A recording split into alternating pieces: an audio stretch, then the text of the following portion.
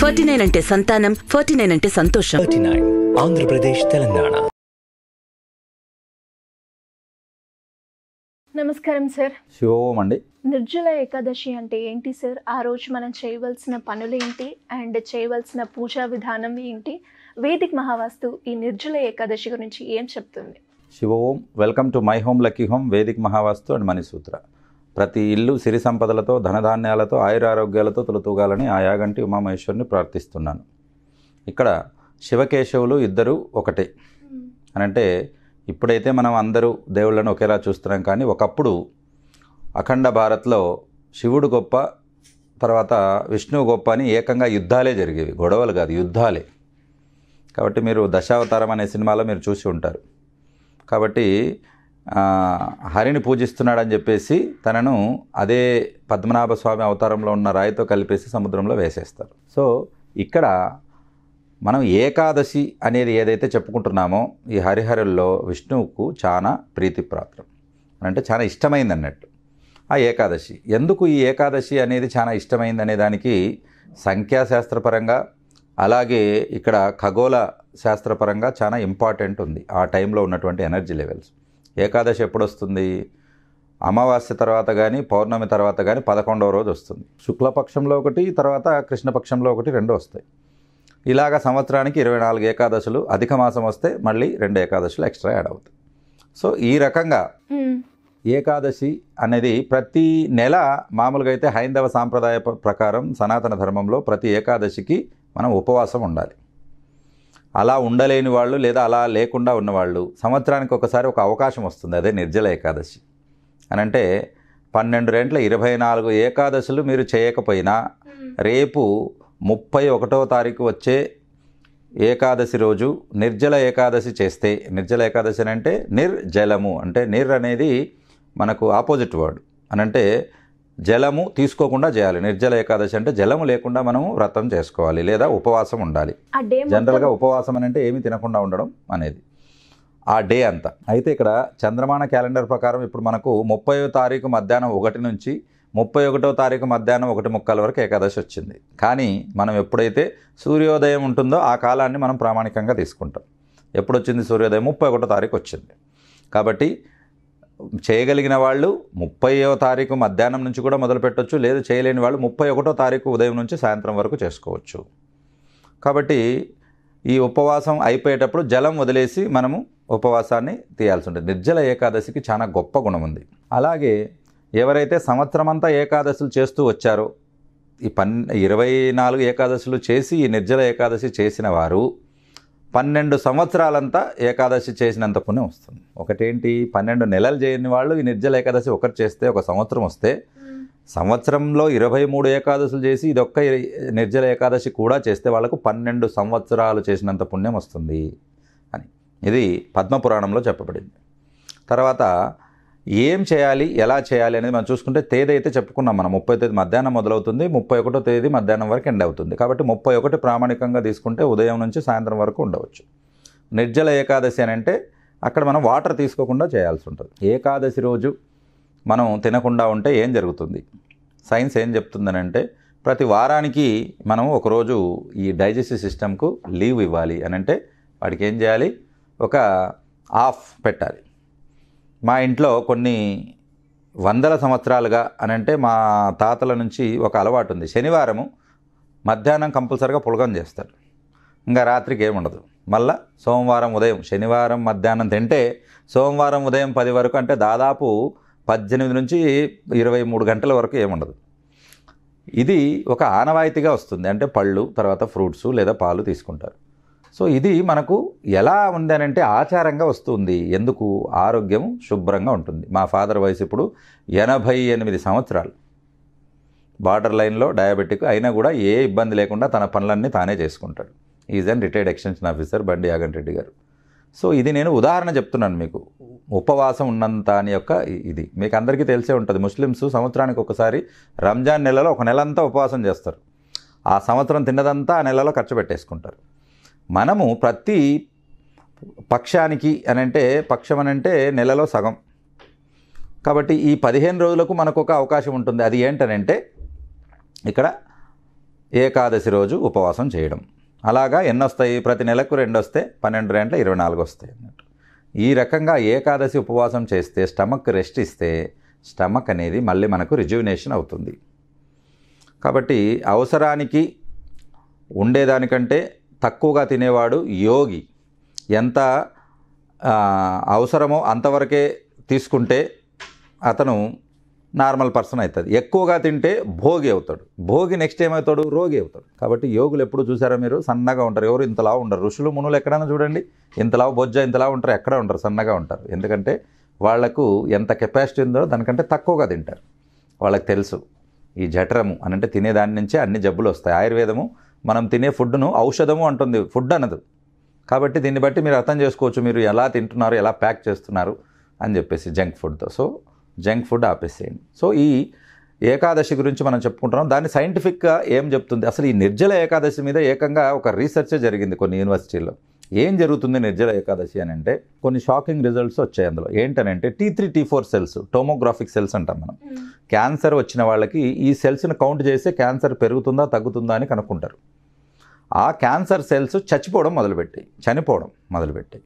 గుర్తుపెట్టుకోండి క్యాన్సర్ సెల్స్కి గ్లూకోజ్ అన్నా ఫుడ్ అన్నా భలే ప్రీతి. మామూలు కణాలు తట్టుకుంటాయి. ఎందుకు? వాటికి తెలుసు అందులో స్టోరేడ్ ఫుడ్ ఉంటుంది. కానీ క్యాన్సర్ కణాలు అనేవి నార్మల్గా కాదు అతిగా పెరిగిన కణాలనే క్యాన్సర్ కణాలు అంటారు. అంటే అవసరానికి మించి పెరిగేవి. అవి ఫుడ్ లేకపోతే తట్టుకోలేవు. కాబట్టి క్యాన్సర్ పేషెంట్ల మీద ఈ నిర్జల ఏకాదశి ఎప్పుడైతే చేశారో వాటర్ లేకుండా ఉన్నప్పుడు ఇంకా ఫాస్ట్గా చనిపోవడం మొదలుపెట్టాయి. ఏ కణాలు? క్యాన్సర్ కణాలు. అంటే క్యాన్సర్ను కూడా తగ్గించేంత శక్తి నిర్జల ఏకాదశికి ఉంది. కాబట్టి ఈ వీడియో చూసిన వాళ్ళు ఎవరైనా క్యాన్సర్ ఉన్నవాళ్ళు లేదా క్యాన్సర్ దశకు గురైన వాళ్ళు ఎవరైనా ఉంటే ఇది ఒక ఆచారంగా పెట్టుకోండి. ప్రతి నెల ఒక నిర్జల ఏకాదశి చేసుకోవచ్చు మీరు. మీకు షాకింగ్ రిజల్ట్స్ వస్తాయి దాంతో. సో ఆ- ఆరోగ్యాన్ని క్యాన్సర్ కణాలనే నిర్మూలించగలుగుతుందంటే ఇంకా నార్మల్ ఆరోగ్యం గురించి మీరు లెక్కేసుకోవచ్చు. కాబట్టి ఇది చాలా మంచిది. బాడీ ఒకసారి రీసైక్లింగ్ అవుతుంది. రెస్ట్ ఇవ్వాలి ఫుడ్కి సో ఇది ఇక్కడ మనం చూసుకున్నట్లయితే పద్మ పురాణం తర్వాత రామాయణం భాగవతం మహాభారతం మనకు మొత్తం పద్దెనిమిది పురాణాలు ఉన్నాయి ఈ పద్దెనిమిది పురాణాల్లో కూడా ఏకాదశి గురించి చెప్పని పురాణం అంటూ లేదని అంటే దాని విశిష్టత ఏంటో మనకు తెలిసిపోతుంది.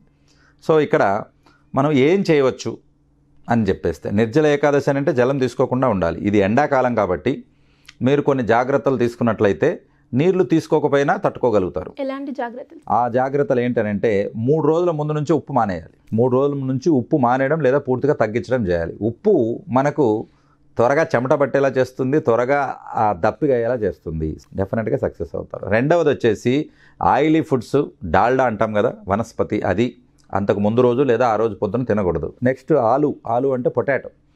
పొటాటో కార్బోహైడ్రేట్స్ ఎక్కువ కాబట్టి వాటికి వాటర్ ఎక్కువ అవసరం పడుతుంది. ఎక్కువ దప్పిగా అయ్యేలా చేస్తుంది.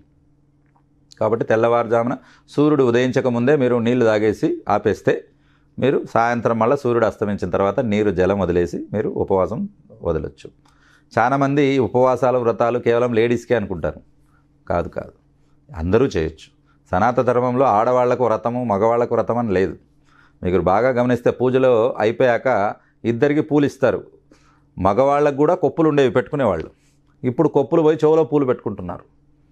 కాబట్టి కనీసం వెనక నాలుగు వెంట్రుకలు వదిలి పిల్లకన్నా పెట్టుకోవాలి ప్రతి ఒక్కరు. సో ఈ రకంగా ఇద్దరూ చేసుకోవాలి. కాబట్టి ఇద్దరూ చేస్తే వచ్చే ఫలితం చాలా బాగుంటుంది. సో ఇది నిర్జల ఉపవాసం. ఏం చేసుకోవచ్చు ఆ రోజు అని మనం చూసుకున్నట్లయితే వ్యాస మహర్షి రాసినటువంటి భాగవతం కానీ మహాభారతం కానీ అలాగే వాల్మీకి రాసినటువంటి రామాయణం కానీ ఏవైనా పఠనం శ్రవణం పారాయణం మూడు చేసుకోవాలి. పఠనం అంటే చదవడం.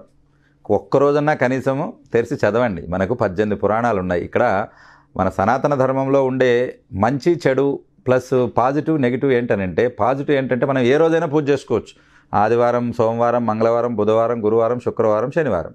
కానీ ఏ రోజు కూడా చేయకుండా పోవచ్చు.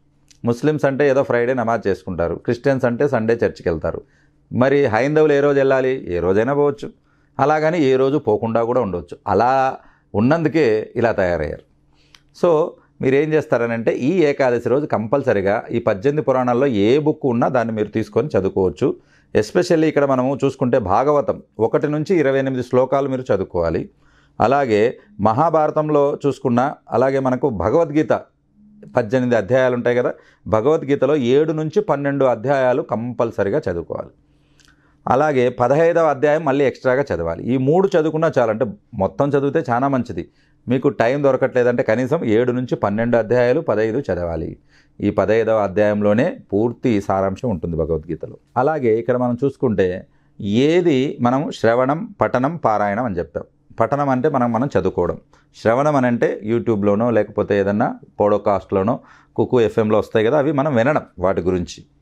అలాగే మూడవది పారాయణం. పారాయణం అంటే పదే పదే చేస్తే దాన్నే పారాయణం అంటారు. రైట్? ఆ రకంగా. ఇవి ఏమీ చేయలేని వాళ్ళు షార్ట్ కట్ తర్వాత తారక మంత్రం అడగమంటారు. అవి ఏం చేయకుండా మనం వర్క్ చేసే వాళ్ళు ఉంటారు కదా చదివినప్పుడు ఏం చేసుకోవాలని అంటే ఇది మనకు విష్ణువుకు సంబంధించింది కాబట్టి ఆయనకు ప్రీతిపాత్రమైన మంత్రాలు రెండు చెప్పుకోవచ్చు. ఒకటి తారక మంత్రం. శివుడికి కేశవుడికి ఇద్దరికీ ఉన్నది.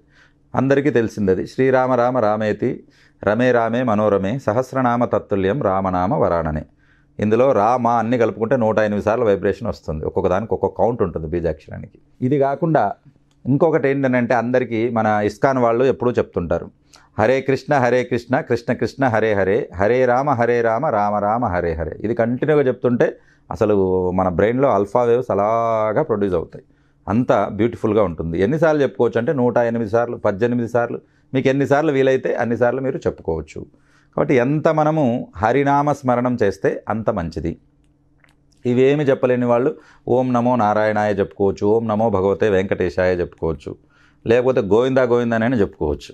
కాబట్టి ఈ రకంగా ఏది మీరు చెప్పినా భక్తి పారవశ్యం అనేది చాలా ఇంపార్టెంట్.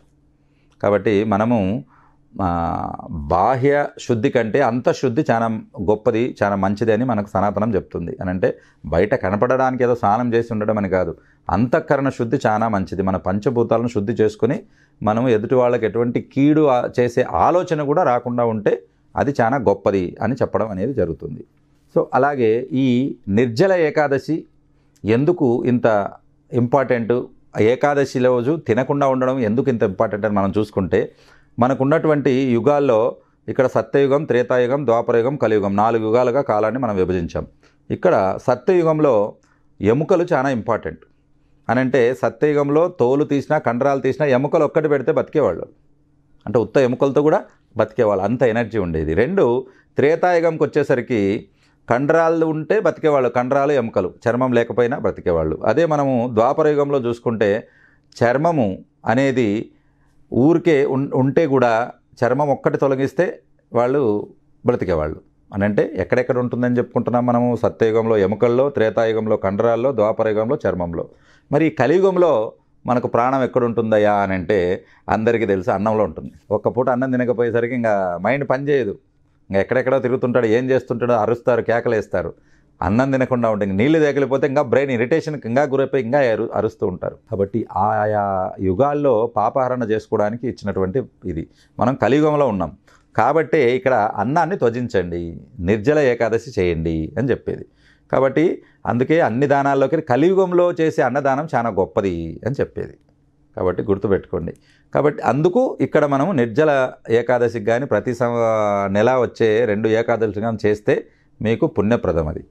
కాబట్టి ఈ రకంగా మీరు ఈ భగవద్గీత కానీ తర్వాత రామాయణం కానీ భాగవతం కానీ మహాభారతం లేకపోతే పద్మపురాణం ఇలా ఏదైనా కానీ తీసుకొని మీరు పారాయణం చేసుకోవచ్చు. ఈ నిర్జల ఏకాదశి శుభాకాంక్షలు. వేదిక మహావాస్తు తరపు నుంచి సుమన్ టీవీ తరపు నుంచి Shivom. Thank you sir thank you so much Shivom. Sir మరి వాస్తురీత్యా ఏ డౌట్ ఉన్నా కూడా మిమ్మల్ని అప్రోచ్ అవ్వాలి అనుకునే వాళ్ళు ఏ విధంగా అప్రోచ్ అవ్వచ్చు అంటారు sir Shivom here we are serve you all vastu visit కావాలనుకున్న వాళ్ళు ఇల్లు కానీ ఫ్యాక్టరీస్ కానీ వ్యాపార స్థలాలు కానీ అలాగే అగ్రికల్చర్ ల్యాండ్స్ కానీ తర్వాత ఫామ్ ల్యాండ్స్ కానీ వాటి యొక్క లొకేషను ప్లాను పెట్టినంత మాత్రాన వాళ్ళకు ఏ జోన్లో ఏ వస్తువు ఉండాలి ఏ వస్తువు ఉండకూడదు అనేది మనం చూసి చెప్పడం జరుగుతుంది. వాళ్ళు ఇండియాలో ఉన్నా సరే అబ్రాడ్లో ఉన్నా సరే ఎక్కడైనా సరే. ఇక్కడ ప్రతి మంత్ మనము వేదిక్ మహావాస్తు అలాగే Mani Sutra classes offline online conduct చేస్తాము. కింద కనపడిన నంబర్లకు మీరు కాల్ చేసి రిజిస్ట్రేషన్ చేసుకోవచ్చు. వీటితో పాటు పవర్ పిరమిడ్ కావాలనుకునే వాళ్ళు అలాగే పిల్లలకు చదువు వ్యాపారస్తులకు వ్యాపార అవకాశాలు వృద్ధులకు ఆరోగ్యము అలాగే ఆ ఇంటి ఇల్లాలకి మంచి ఆరోగ్యం అంటే south east.